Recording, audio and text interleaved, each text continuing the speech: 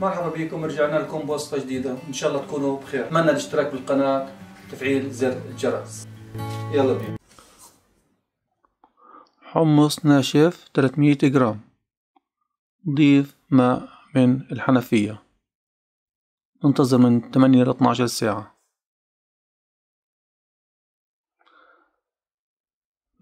نغسل الحمص ونضيف ماء جديد.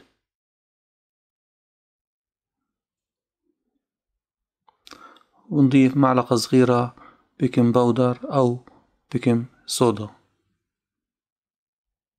معلقة صغيرة. نحرك نوضع على حرارة فوق المتوسطة تقريبا خمسة وأربعين دقيقة أو أو حتى ينضج.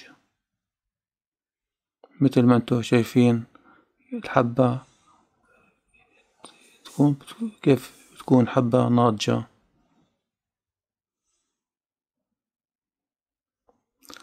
بنزل المية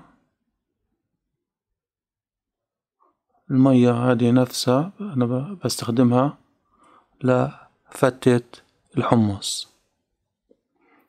وأنا ممكن أرفع كمان حمص للتزيين.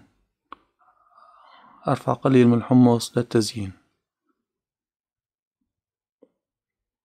بنضيف الحمص على الخلاط.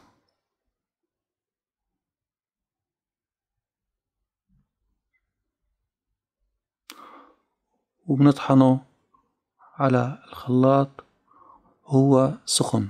هذا المرحلة الأولى. بعد ما نطحنه هو سخن بكون هو سخن بكون سهل الطحن. بعدين بنحطه بالثلاجة حتى يبرد.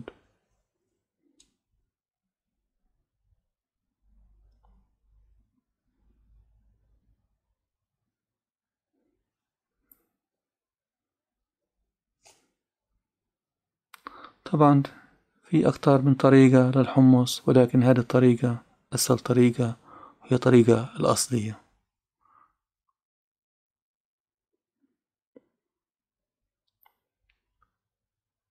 في بضيفوله زيت ولكن مش لازم لأنه الطحينة نفسها فيها زيت نباتي الطحينة وهي مدهنة الطحينة مثل ما أنتم شايفين يكون مثل الكريمة نوضعه بالثلاجة حتى يبرد.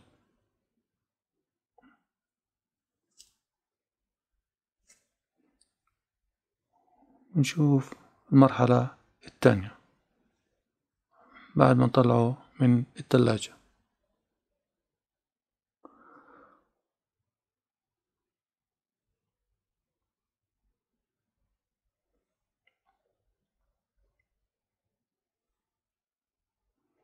نضيف عصير ليمون عدد تنتين ليمون تقريبا حبة متوسطة حبة الليمون عدد اثنين وملح معلقة صغيرة.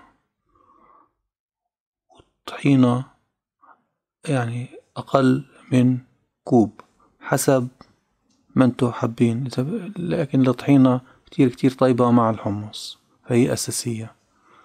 وطبعا طريقة الطحينة حاسب إياها في صندوق الوصف تحت طريقة الطحينة اللي عاوز يعمل طحينة. هي سهلة كتير كتير سهلة.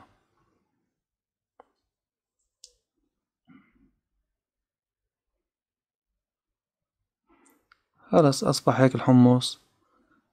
جاهز.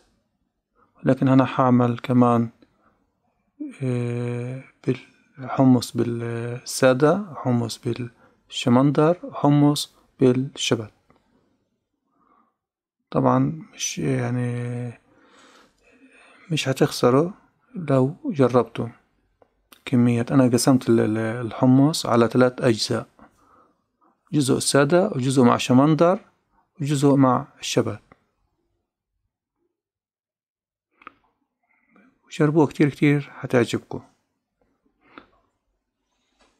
نضيف الحمص المسلوق اللي رفعناه تزيين وهذا فلفل مع عصير ليمون دقة وقليل من الزيت.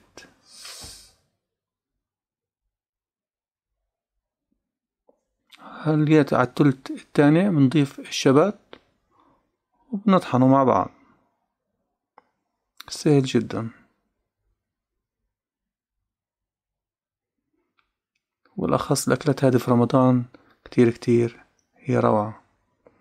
وتغيير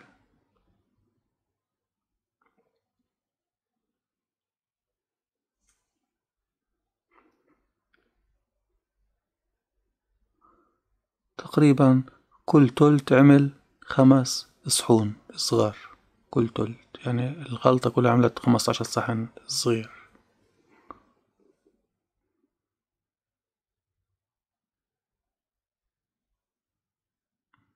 طبعا هذا حمص 300 جرام حمص ناشف 300 جرام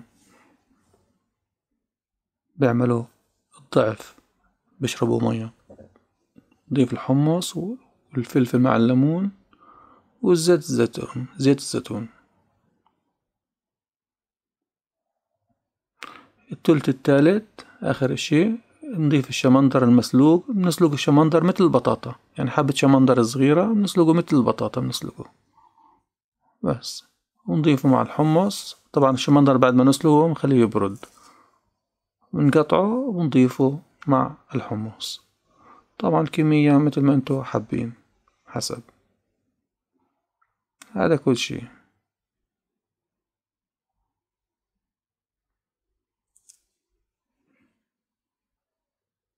يعني ممكن انتو تنوعوا.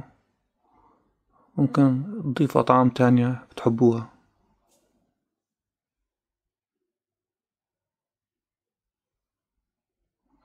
نضيف الحمص المسلوق وقليل من الليمون عصير الليمون مع الفلفل.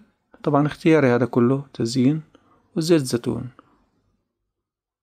وصحة وألف عافية. وانتظرونا بوصفة جديدة.